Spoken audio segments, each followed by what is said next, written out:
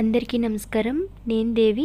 Welcome back to Devi smart kitchen. ఈరోజు వీడియోలో దిల్ పసంద్ని ఎలా ప్రిపేర్ చేయాలో చూపించబోతున్నానండి. మనం బయటికి వెళ్ళి కొనవలసిన అవసరం లేకుండానే బేకరీ స్టైల్లోనే సేమ్ టేస్ట్ వచ్చే విధంగా మనం ఇంట్లోనే ఈజీగా ప్రిపేర్ చేసుకోవచ్చు. సో లేట్ చేయకుండా ప్రాసెస్ ఏంటో చూసేద్దాం. ముందుగా దీనికోసం ఒక బౌల్లో వన్ కప్ ఆఫ్ వాటర్ వేసుకోండి. ఇందులోకి వన్ టేబుల్ స్పూన్ ఈస్ట్ పౌడర్ని వేసుకుని అలాగే వన్ టీ స్పూన్ వరకు షుగర్ పౌడర్ని కూడా యాడ్ చేసుకుని బాగా మిక్స్ చేసుకోవాలి. ఒకవేళ మీ దగ్గర ఈస్ట్ లేదు అని అనుకుంటే కనుక మీరు దీని ప్లేస్లో బేకింగ్ సోడాని కూడా యూస్ చేసుకోవచ్చు. ఈస్ట్ వేయడం వల్ల మనకి దిల్పసంద్ అనేది ఫ్లఫీగా వస్తుందండి. ఇది లేకపోయినా కూడా పర్వాలేదు. మీరు బేకింగ్ సోడాతోనే మనం ఈ పిండిని రెడీ చేసుకోవచ్చు. ఇప్పుడు దీన్ని మూత పెట్టేసి ఒక పది నిమిషాల పాటు పక్కన పెట్టుకోవాలి. ఇప్పుడు ఒక మిక్సింగ్ బౌల్ తీసుకుని ఇందులోకి వన్ అండ్ హాఫ్ కప్ వరకు మైదా పిండిని వేస్తున్నానండి. మైదా పిండి ప్లేస్లో మీరు గోధుమ పిండిని కూడా యూస్ చేసుకోవచ్చు. ఇప్పుడు దీంట్లోకి కొద్దిగా సాల్ట్ని కూడా యాడ్ చేసుకుని త్రీ టేబుల్ స్పూన్స్ వరకు బాగా కాచిన నూనెని ఇందులో వేసుకుని కలుపుకోవాలి. మనం చేత్తో పట్టుకుంటే ఇలా ముద్దలు అయ్యేంత వరకు కూడా ఈ పిండిని మనం బాగా కలుపుకోవాలి. ఇప్పుడు మనం రెడీ చేసి పెట్టుకున్న ఈస్ట్ వాటర్ ఉంది కదండి అది కూడా ఇందులో కొద్ది కొద్దిగా యాడ్ చేసుకుంటూ మనం దీన్ని సాఫ్ట్ పిండి ముద్దలాగా బాగా నీట్ చేసుకుంటూ కలుపుకోవాలి. ఈ పిండిని ఎంత బాగా కలుపుకుంటే మనకి దిల్పసంద్ అనేది అంత బాగా వస్తుందండి. కనీసం ఒక పదిహేను నిమిషాల పాటు ఈ పిండిని బాగా నీట్ చేసుకుంటూ ఒక సాఫ్ట్ చపాతీ ముద్దలాగా కలుపుకోవాలి. రెండు దిల్పసందులు చేస్తున్నాను కాబట్టి నేను వన్ అండ్ హాఫ్ కప్ వరకు మైదా పిండి వాడాను. ఒకటే అనుకుంటే కనుక వన్ కప్ ఆఫ్ మైదా పిండి సరిపోతుంది. ఇప్పుడు ఇలా రెడీ చేసుకున్న ఈ పిండి ముద్ద మీద కొద్దిగా నెయ్యిని అప్లై చేసుకుని ఏదైనా క్లాత్తో కవర్ చేసుకుని పక్కన పెట్టుకోవాలి. ఇప్పుడు ఇందులోకి మనం స్టఫింగ్ కోసం ఒక సిక్స్ బ్రెడ్ పీసెస్ని రెడీ చేసుకున్నానండి. ఇది ఒక బౌల్లో వేసుకుని ఈ మెత్తటి పౌడర్ లాగా చేసుకుందాం. ఈ బ్రెడ్ పౌడర్ని ఇలా రెడీ చేసి పెట్టుకున్న తర్వాత ఇందులోకి నేను ఒక హాఫ్ కప్ వరకు ఎండు కొబ్బరిని ఒక త్రీ టేబుల్ స్పూన్స్ వరకు టూటీ ఫ్రూటీని వేసానండి అలాగే త్రీ టేబుల్ స్పూన్స్ వరకు ఫ్రూట్ జామ్ని యాడ్ చేసుకోవాలి. ఒకవేళ ఫ్రూట్ జామ్ లేకపోతే స్కిప్ చేసేయండి. ఫ్రూట్ జామ్ వేయడం వల్ల మనకి సేమ్ బేకరీ స్టైల్లోనే దిల్పసంద్ టేస్ట్ ఎలా ఉంటుందో అలాగే ఉంటుంది. ఇప్పుడు ఇందులోకి టూ త్రీ టీ స్పూన్స్ వరకు షుగర్ పౌడర్ని యాడ్ చేస్తున్నాను. ఇవన్నీ వేసుకున్న తర్వాత ఒకసారి బాగా కలుపుకోండి. అలాగే ఇందులోకి ఒక పావు టీ స్పూన్ వరకు యాలకుల పౌడర్ని కూడా యాడ్ చేసుకుని మిక్స్ చేసుకోవాలి. ఇలా మొత్తం కూడా మిక్స్ చేసుకున్న తర్వాత చివరిగా ఇందులోకి ఒక టూ టేబుల్ స్పూన్స్ వరకు షుగర్ కలిపిన వాటర్ని యాడ్ చేస్తున్నానండి. ఈ వాటర్ యాడ్ చేయడం వల్ల మనకి స్టఫింగ్ అనేది గట్టిగా అయిపోకుండా ఉంటుంది. ఇలా రెడీ చేసుకుని పక్కన పెట్టుకోండి.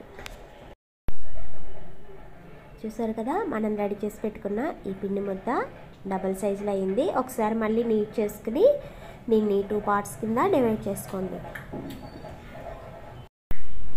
ఇప్పుడు ఒక పిండి ముద్దని తీసుకుని కింద కొద్దిగా పొడి పిండిని చల్లుకుని ఈ పిండి ముద్దని మనం ఏదైనా చపాతీ కర్రతో మరీ పలుచుగా కాకుండా మరీ మందంగా కాకుండా ఈ విధంగా ఒత్తుకున్న తర్వాత దీన్ని ఒకసారి రోల్ చేసుకోండి. ఈ విధంగా రోల్ చేసుకున్న తర్వాత ఒకసారి ఈ విధంగా సాగదీసి మళ్ళీ దీన్ని సర్కిల్ లాగా ఈ విధంగా రోల్ చేసుకోవాలి.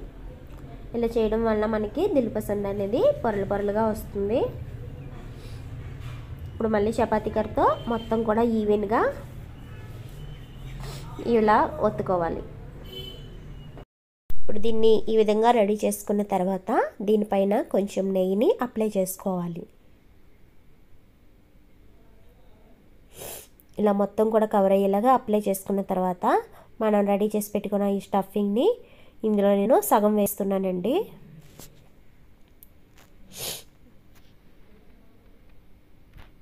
ఇప్పుడు వీడియోలో చూపిస్తున్న విధంగా మొత్తం కూడా కవర్ చేసుకుని స్టఫింగ్ అనేది బయటకు రాకుండా చేత్తో ముందు కొద్దిగా ప్రెస్ చేసుకోవాలి. ఇప్పుడు ఇలా చేత్తో ప్రెస్ చేసుకున్న తర్వాత చపాతీ కర్ర తీసుకుని లోపల ఉన్న స్టఫింగ్ బయటకు రాకుండా లోపల మొత్తం కూడా స్ప్రెడ్ అయ్యే విధంగా చపాతీ కర్రతో జాగ్రత్తగా ఇలా ఒత్తుకోవాలండి. ఇప్పుడు మనకి ఇది రెడీ అయిపోయింది కదండి.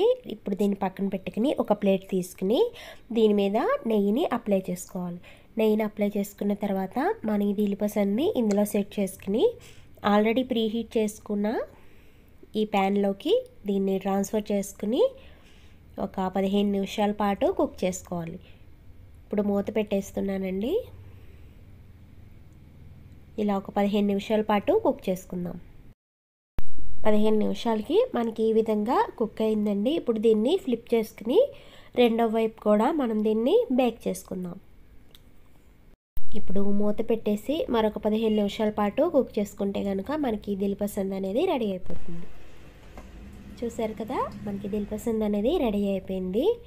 ఇది వేడివేడిగా ఉండగానే దీని మీద కొద్దిగా నెయ్యిని కానీ లేదా ఆయిల్ కానీ అప్లై చేసుకుని ఇది పూర్తిగా చల్లారిన తర్వాత పీసెస్ కింద కట్ చేసుకుని సర్వ్ చేసేసుకోవడమే.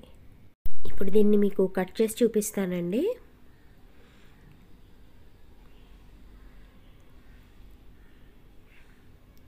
చూసారుగా? ఫ్లఫీగా పైన కొంచెం క్రంచీగా చాలా బాగా వచ్చింది.